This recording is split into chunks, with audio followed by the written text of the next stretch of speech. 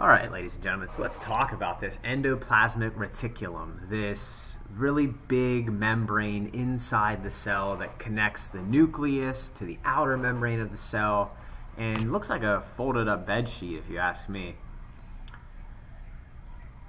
There are two types of endoplasmic reticulum. There is the smooth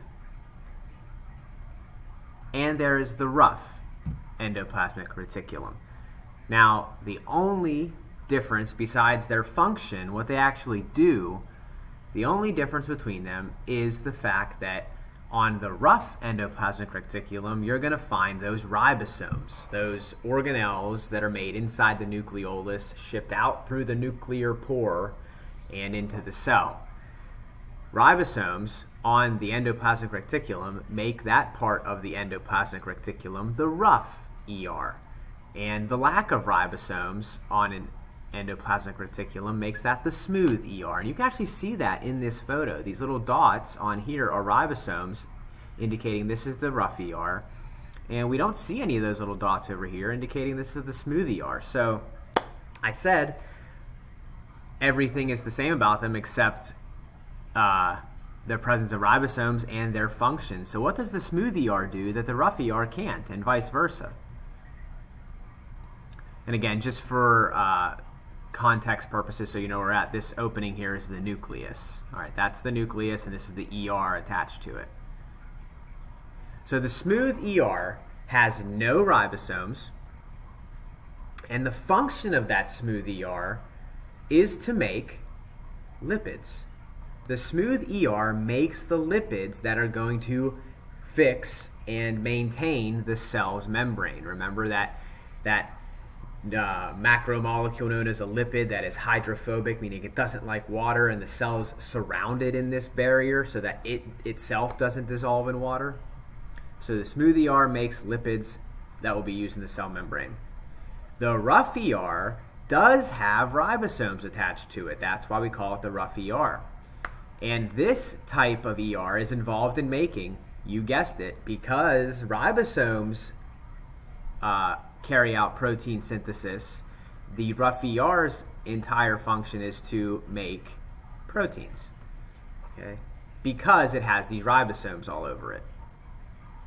And newly made proteins that are made on the rough ER by the ribosomes attached to the rough ER, these proteins are either inserted directly into the ER to fix and repair or carry out a function, or they're sent off somewhere else into the cell to continue their journey and carry whatever function they're going to. Now, speaking of sent off into the cell, we have another organelle. Just outside the ER, which is attached to the nucleus, we have little organelles called Golgi apparati, or apparatus. Proteins that were actually made on the rough ER, if they're not used at the rough ER, are actually sent out and they end up at the Golgi apparatus first. So what does the Golgi apparatus do? Well, first off, it kind of looks like the ER, it looks like folded up bed sheets, but it's much, much, much smaller. The function of the Golgi is to modify, sort, and package those proteins. The Golgi is like the UPS of the cell it receives the protein package and it modifies, sorts it, says this goes here, this goes there, and gets it ready to be sent off and for that protein to carry out its function. These proteins are either going to be stored in the cell for some kind of function inside the cell, or they'll actually be secreted from one cell and go carry out a function somewhere else in the organism at some other cell. Basically you can think of the Golgi as like this is where the finishing touches get put on these proteins before they reach their final destination. Just like UPS takes the final step between your package coming from the seller to you. Oh, the lysosome. This is another organelle all its own. The lysosome is pretty simple.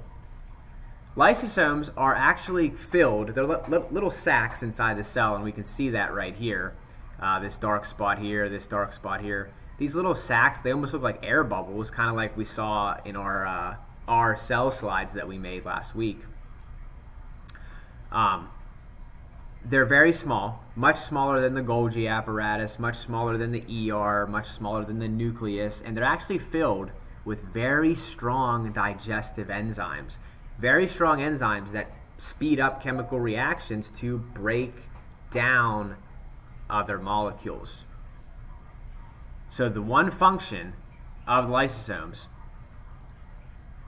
is the digestion of macromolecules and other small molecules. So the lysosome goes around, breaks down some small carbohydrates, breaks down uh, maybe some components of proteins like amino acids, and it breaks down some components of lipids.